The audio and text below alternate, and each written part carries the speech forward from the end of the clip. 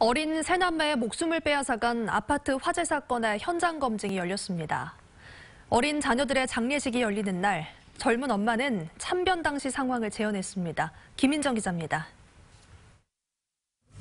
어린 세 남매의 목숨을 빼앗아간 아파트 화재 현장. 사건 발생 나흘 만에 경찰과 함께 사고 현장에 돌아온 어머니 22살 정모 씨는 모자와 마스크로 얼굴을 가린 채 고개만 푹 숙였습니다. 오늘 현장 검증하러 오셨는데 심정한 말씀만 얘기해 주세요. 담뱃불로 실수로 불을 냈다고 자백한 정 씨는 자녀들의 목숨을 앗아간 화재 당시 상황을 경찰에 진술한 그대로 50분간 재현했습니다. 새벽에 집에 들어와 주방에서 담배를 피우다 아기가 울자 담뱃불을 이불에 끄고 아이들이 자던 방에 들어간 상황과 아이들을 남겨두고 베란다 쪽으로 대피해 홀로 구조된 상황까지 흐느끼며 보여줬습니다.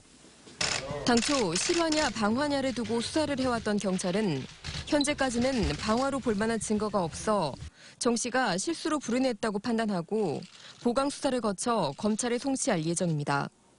한편 현장 검증이 열리던 시각 작은 관에 담긴 어린 세 남매의 시신은 엄마인 정 씨를 다시 만나지 못한 채 화장장으로 들어가 장례를 치렀습니다. MBC 뉴스 김인정입니다.